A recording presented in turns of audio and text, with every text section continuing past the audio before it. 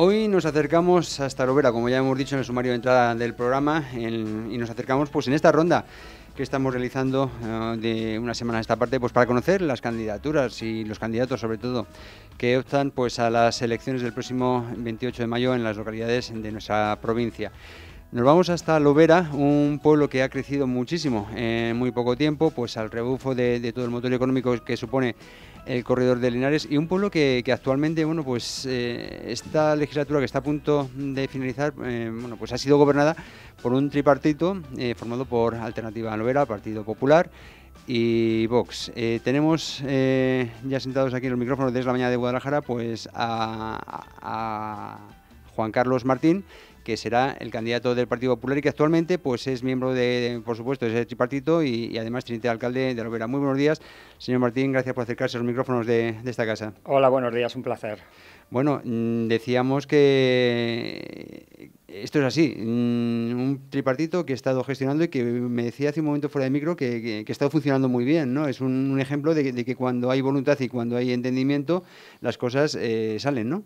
Correcto, cuando al final los partidos que estamos gobernando lo primero y priorizamos es en el municipio, en el pueblo, en los vecinos, pues sale lo que ha salido en estos cuatro años, casi una legislatura donde se ha trabajado en equipo, aún estando en tripartito, eh, donde hemos mirado por nuestro municipio y donde, bueno, pues eh, aún teniendo pues dos años de pandemia y pues trabajando muy duro, creo que se han hecho cosas. Es verdad que todo es mejorable y es por eso que, nosotros, el Partido Popular de Alovera, pues vamos a intentar mejorarlo con esa candidatura que, vamos a sacar y con, acompañado de, un buen equipo, ¿no? Pero siempre, siempre digo lo mismo. Eh, todo aquel político que al final tiene vocación de servicio público, que le interesa a su pueblo, eh, creo que da igual la ideología y si trabaja, se pone el mono de trabajo, como digo yo, al final las cosas van saliendo. Claro, es algo que se deberían de ver los políticos en los ayuntamientos, ¿no? A, su pueblo, no a su partido, eh, digo yo, porque en muchos aspectos estamos viendo que se deben más a, su partido que a sus votantes, ¿no? Sí, nosotros lo tenemos claro en Alovera, prioridad absoluta a nuestros vecinos eh, y, es lo que hemos hecho, lo que hemos hecho en la oposición, lo que hemos hecho en el gobierno y creo que todos los que hemos estado formando parte de ese equipo de gobierno hemos tenido muy claro que mm, primero era nuestro pueblo y luego, o por lo menos yo como portavoz del Partido Popular, así lo he creído y así lo creemos la gente que me ha acompañado en el gobierno del Partido Popular, primero nuestro, nuestro municipio y dejando a un lado los colores políticos porque creo que, que nos debemos a nuestros vecinos. No sé si eh, acometieron la, bueno, pues el ciclo que está, está, a punto de finalizar con un poco de vértigo, ¿no? Porque ahí irrumpía Vox como un, un, partido que, digamos, que llegaba a las instituciones, en este caso locales. Ahí estaba Purificación Tortuero, eh, pues con que tiene una presencia sobradamente asentada allí en su pueblo. Y ahí estaba también Partido Popular y además se encuentran todo lo que vino eh, a raíz de, la pandemia. A pesar de todo, eh, ustedes, como decía, han seguido trabajando y, han demostrado que lo que decíamos, ¿no? que, que lo de hacer eh, un, un grupo mixto un grupo con diferentes partidos eh, va mucho más allá ¿no? de, que los que menos votos tienen simplemente apoyen incondicionalmente a los que más votos tienen. ¿no? Ah, se ha debatido, se ha hablado, se han contrastado pareceres y se ha trabajado por Alovera. Correcto. Eh, ha habido mucha transparencia, creo que es vital en un tripartito, lo ha habido aquí. Y es cierto, para qué te voy a engañar, al principio podía dar un poco de vértigo. ¿Por qué? Pues porque nosotros veníamos de la oposición y hay que reconocer que en momentos eh, la oposición la hicimos dura. ¿no? Es algo que a lo mejor muchos de nuestros votantes eh, pues no, tuvieron, no entendieron del todo. ¿no? Como estando en la oposición, pues habíamos hecho una oposición dura, siempre mirando por nuestros vecinos, por supuesto, y ahora pues podíamos eh, estar dentro de este tripartito, ¿no? Este, de este pacto de gobierno. Pero como te he dicho anteriormente, eh, al final hubo mucha transparencia, ha habido mucho diálogo, eh, se han puesto las cosas encima de la mesa siempre, sin mirar los colores políticos, mirando por nuestro municipio, y repito, todo es mejorable. Se pueden hacer muchas más cosas, pero también yo siempre lo digo y se lo he dicho muchas veces a la oposición en los plenos, que nos recriminan que a lo mejor podíamos haber hecho mucho y que lo que estamos haciendo lo estamos haciendo al final, mm, tengo que decir que no es cierto. Hemos cruzado por esos dos años de pandemia, luego nos vino una filomena que a todos los eh, municipios afectó muchísimo. Y ahora, pues gracias a la enajenación de dos parcelas, al final de la legislatura hemos ingresado un dinero que teníamos que invertir en el municipio, en inversiones, y es lo que hemos hecho, mm, invertir en, nuestro municipio, y esto es cierto que ha venido muy a, última hora, por eso a lo mejor eh, de las obras, que es verdad que es muy común que en muchos municipios, en muchas eh, ciudades se hagan al final, en vísperas de elecciones, pero yo creerme, y os lo digo de verdad, y os lo digo a todos los oyentes, en este caso ha sido por circunstancias, y sobre todo por esa enajenación, nos vino un dinero bastante importante y lo hemos lo hemos invertido, reinvertido, lo estamos reinvirtiendo en el municipio. ¿Qué le dicen sus conciudadanos? Eh, porque entiendo que en un municipio como Alovera, que a pesar de lo que está creciendo, como hemos dicho, pues eh, todavía mm, casi todo se conoce con todo el mundo, eh, entiendo que le pararán por la calle y le dirán, no sé si esto de qué de lo mío, o muy bien, sigue adelante, o muy mal, a ver qué estáis haciendo. ¿Cuál es la retroalimentación que le llega de sus propios ciudadanos? A ver, eh, la política municipal es muy dura y, lo sabemos los que estamos dentro de cualquier municipio. Eh, ¿Por qué? Porque al final es salir a la calle, ir a tomar una caña con la familia y los vecinos te vienen. Eh, lo que yo veo y percibo es que están contentos, están contentos con el tripartito porque de hecho mucha gente incluso dice, bueno, eh, votantes nuestros, eh, pues te vamos a votar a ti, pero si tiene que salir algo, que salga lo mismo porque ha funcionado bastante bien. Eso es lo que se percibe en la calle. ¿no? Es cierto que ahora viene una campaña electoral, que ahora vienen unas elecciones y aquí cada uno tenemos que ir por nuestro lado. O sea, si ahora son los vecinos los que tienen que analizar si con la llegada del Partido Popular al, equipo de gobierno el municipio ha crecido, se han hecho cosas o realmente hemos ido para atrás. Mi opinión, que está ahí, está contrastada, es que hemos avanzado mucho, que al final este, este, tripartito, este pacto de gobierno, que el Partido Popular estuviera dentro de este equipo de gobierno, ha hecho que el municipio crezca, que se hagan nuevas instalaciones, que se mantengan las que hay, que se mejoren las que hay y se mejoren los parques. Eh, hemos, eh, hemos logrado que, el ocio juvenil, que era algo que estaba un poco como bloqueado, eh, pues diéramos con la horma del zapato y viéramos que nuestros jóvenes que se iban a otros municipios, pues ahora tenían un sitio donde, donde, donde hacer ocio, ocio sano, ¿no? como es esa carpa, que es verdad que ha sido todo un acierto, porque hemos tenido todo, casi todos los fines de semana y seguimos teniendo alguna especie de aloe vera joven fest para todas las edades, jóvenes, familia, más mayores, remember. Bueno, el caso es que ahí hemos dado con la horma del zapato y esa, eso son cosas nuevas que, han venido gracias a este tripartito, ¿no? Mm, entiendo entonces que la ciudadanía está conforme eh, con eh, la gestión que se ha realizado estos cuatro años y le, le quisiera dar continuidad, pero claro, usted eh, nos ha, venido a, esta casa pues a hablarnos de, su candidatura a la alcaldía, que el uno no quita el otro, con lo cual, bueno, pues ya sí tengo que preguntarle pues un poco cuál sería el programa, en qué dirección eh, tiraría el partido al que usted representa, eh, llegado el caso de, que sí consiguiera esta alcaldía. ¿Cuál, ¿Cuál sería el programa, las implementaciones que, desde el Partido Popular se, se, se proponen para Alovera? Le acabamos de acabar. Ayer tuvimos la última reunión y lo terminamos de rematar, como aquel que dice, mirar, yo para, para mí como candidato, eh, es una frase muy corta, pero figuraros todo lo que dice, y lo he dicho en más de una ocasión, y es que quiero el mejor municipio para vivir, para que nuestros vecinos vivan. O sea, sé, quiero el mejor municipio para que cuando un vecino salga a los parques tenga el parque que se sienta orgulloso de él. Eh, cuando salga o vengan unos familiares o amigos de otras ciudades y pasen por la ciudad, digan que qué limpio está que no hay baches, que, que eso es lo que eh, como políticos... Resumir de pueblo, desde que el propio ciudadano puede decir, mira, veniros para Lovera... Correcto, eso está claro. Eso, que, que, es una frase muy corta, pero que abarca muchísimo, tiene que ir apoyado de unos pilares, que nosotros, por supuesto, eh, nos vamos a apoyar y vamos a trabajar en ellos. Tengo una cosa muy clara en el programa. Entre otras cosas porque es la tercera vez que me presento como candidato, porque al final en mi mochila va eh, pues unos cuantos kilos de experiencia. Y tengo muy clara que la gente ya no podemos engañarla con obras faraónicas. Ahora ya los programas, en mi programa, nuestro programa, mejor dicho, porque está elaborado por, por, todo el equipo, va a ser un programa que llegue a la gente, va a ser un programa donde el vecino lo vea y se identifique con él, que vea, bueno, pues, pues no tenemos obras faraónicas, eh, todos los grupos políticos de años atrás, siempre el, el famoso mucho apeaderos, lo dice mucha gente, siempre van todos los programas. ¿Qué pasa? Que el apeadero no depende de nosotros. Si es que por mucho que, por mucho que lo metamos y al final no depende, ese, al final nosotros, esa ADIF, es el, es el, Ministerio de Fomento y nosotros podemos presionar, podemos, pero no, no, depende de nosotros. Entonces nuestro programa va a ser un programa llano, sincero, o sea, sincero por supuesto, pero que llegue a la gente, que la gente lo lea y diga, pues me gusta este programa. ¿no? Mm. Es verdad que nos vamos a apoyar en pilares tan importantes como es la familia, como son los mayores, como son los jóvenes, como va a ser el municipio, por lo que te acabo de decir, como, como va a ser eh, también el deporte. Eh, yo soy concejal de deporte y hemos tenido una subida exponencial, exponencial en, inscritos tanto en, actividades deportivas como en escuelas eh, infantiles. Y, bueno, pues nos vamos a centrar en eso, que es el día a día de cada vecino para que, que bueno, los vecinos vean que realmente no estamos vendiendo humo, que al final la experiencia te da que esos programas, y además va a ser muy fácil de leer, muy sencillo, pero sobre todo ese programa va a reflejar lo que hemos recogido en la, calle. Y estar en el equipo de gobierno, por suerte, te da eh, muchísima más información que te puede dar estar en la oposición.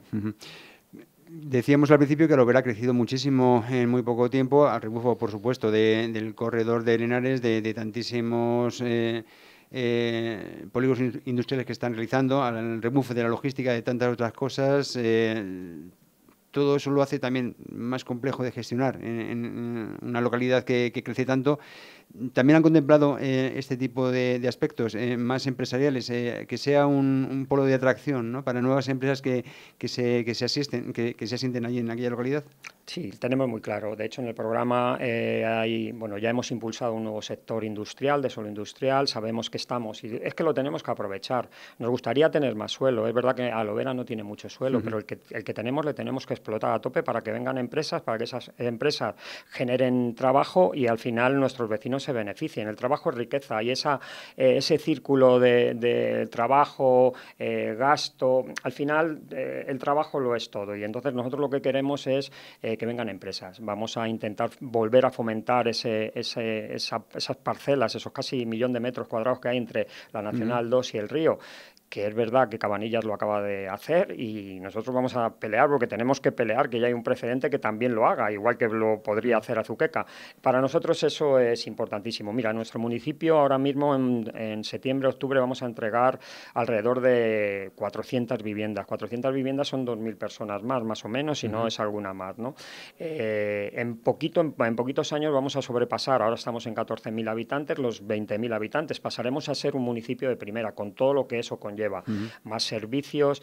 Es verdad que también peleamos con muchas eh, trabas burocráticas. Al final, las nuevas leyes de contratación, eh, como que, bueno, están muy bien porque al final todo lo todo lo pasado se va depurando, pero está costando mucho trabajo y, todo, tú tienes muchos proyectos en, mente, pero luego cuesta mucho trabajo también sacarlos, ¿no? Por, por esto que te digo, porque eh, la burocracia que tiene la administración cada vez es más intensa, más extensa y hace que muchas veces... Más compleja, claro. Eh, la gente que se presenta para, para estar al cargo de municipio sea gente, yo lo digo, eh, de verdad, muy valiente porque, porque hay que pelear no solamente con que tengas un presupuesto, con que se apruebe ese presupuesto, sino luego las trabas burocráticas que hay a la hora del día a día, de contratar, eh, de gestionar eh, muchos servicios.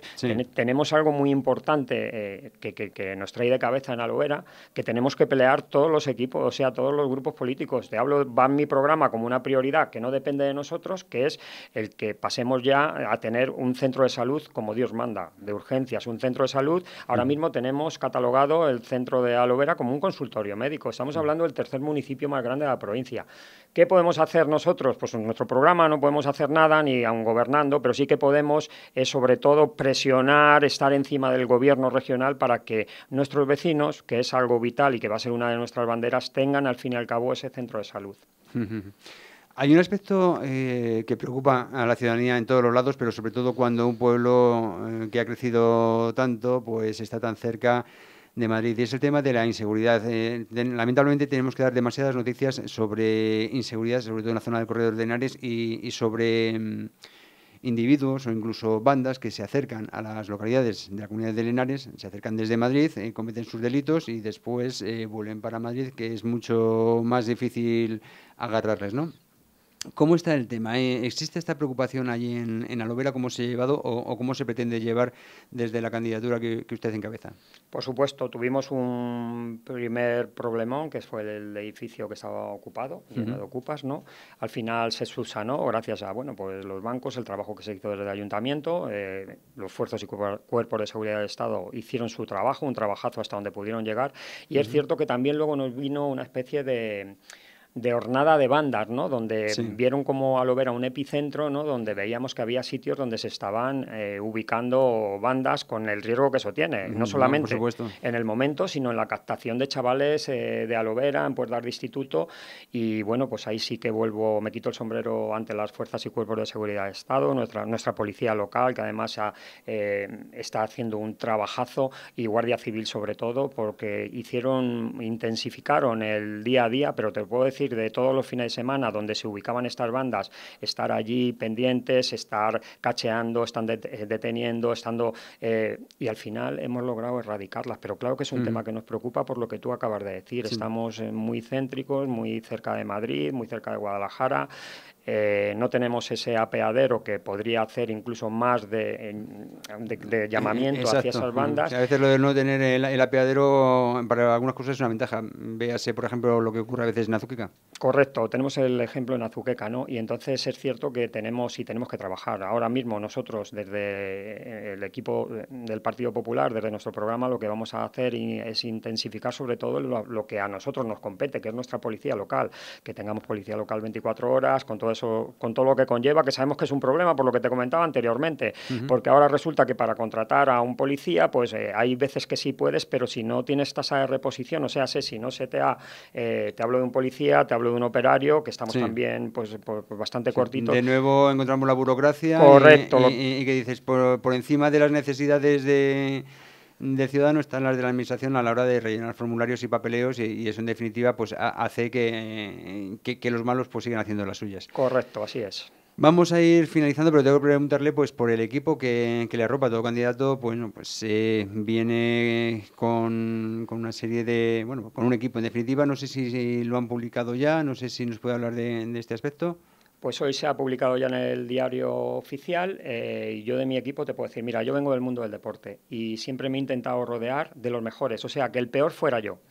Y eso es lo que estoy haciendo y eso es lo que he hecho este año. Que cuando digo que el peor sea yo, que la gente que me rodea sea gente súper preparada, que la gente que me rodea sea gente con ganas, que, le importe a lo vera, que crea en mi proyecto y en mi persona, porque al final yo soy el candidato y soy el que encabeza. Y, y yo en esta candidatura lo he logrado. Estoy súper orgulloso de la gente que me va a acompañar, gente que pensaba que no no me iba a contestar afirmativamente porque la política ya sabéis que muchas veces, pues bueno, pues gusta o disgusta mucho, ¿no? Pero bueno, he tenido la suerte de que ese equipo, eh, a toda aquella persona que, que, he a su puerta, me ha dado el, sí, me ha dado el ok. Y bueno, es un equipo renovado, es un equipo con gente joven. Eh, creo que la gente joven en Alovera tiene que eh, coger las riendas del municipio. hemos visto que en esos cuatro años hemos avanzado mucho y mi equipo será un equipo renovado, joven, preparado y sobre todo supermentalizado a trabajar por el pueblo. Y además nadie me ha exigido un puesto, que es algo para mí vital. Eso quiere decir que la gente que viene, que te acompaña, es gente que cree en ti, que cree en tu proyecto y que cree que puede trabajar por el pueblo. Y estoy súper orgulloso del equipo que voy a tener este año. Estaba buscando la nota de prensa correspondiente, puesto que comenta que ya se ha publicado, pero de momento no veo, bueno, pues para avanzar algunos nombres, pero muy pronto los, sabremos. Como decía, eh, teníamos que ir terminando, no sé qué más quiere añadir usted, bueno, pues eh, al respecto de, su candidatura, si es así, o, si prefiere aprovechar este, este minuto pues un poquito para animar a, las gentes de Alovera, ¿no? a, que apoyen su, proyecto y, y su candidatura a la alcaldía. Sí, yo sobre todo decir a la gente de Alovera que me está escuchando que soy una persona muy cercana, que me tienen a su disposición tanto en el ayuntamiento como en el polideportivo, pues eh, cuando quieran, que cuando tengan dudas que me pregunten, que yo cuando vaya a mostrarle eh, su, mi programa, nuestro programa, pues me gustaría que nos atendieran, que nos preguntaran, que las dudas que tuvieran, eh, pues, pues las subsanáramos en, ese, en esa campaña electoral, donde vamos a ir un puerta a puerta por cada casa explicando nuestro programa, que vamos a hacer reuniones con todos los colectivos posibles que, mm. que creamos que puedan aportar aportar algo para, para nuestro municipio y sobre todo que la gente vaya a votar, porque, a ver, mucha gente luego nos dice, nos recrimina, pero resulta que luego tampoco ha ido a votar. Eh, cada uno es libre, tiene que votar dependiendo. En los municipios sabéis que se suele votar mucho a la persona eh, y bueno, pues en estos cuatro años en el equipo de gobierno hemos hablado con mucha gente, hemos visto eh, no es lo mismo estar en la oposición que en el gobierno, también te lo digo. Entonces, en, en, el gobierno lo que hemos visto, hemos recopilado mucha información de las necesidades de nuestros vecinos, a los cuales agradezco un montón toda la información que nos han trasladado, lo hemos intentado trasladar a ese programa y eso es lo que quiero que, se, que vean en el Partido Popular, gente llana, gente pues cercana eh, y abierta para que todas aquellas dudas que tengan pues nos las planteen e intentemos mejorar entre todos. Muchísimas gracias, Juan Carlos Martín, candidato del Partido Popular a la alcaldía de Alovera, por este ratito. Y, bueno, pues eh, entiendo que continuaremos hablando de aquí al día 28 de mayo. Gracias y hasta entonces. Un placer a vuestra entera disposición. Muchas gracias.